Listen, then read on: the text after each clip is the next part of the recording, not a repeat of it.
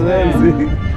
Es que ya me topé con varias mujeres de Javier Ochoa Ah, sí. y que les mandes para el child support. Ah, sí. Sí, porque me, me estaban cobrando a mí, pero le digo, no, digo, Javier Ochoa no me mandó nada ahora. del, del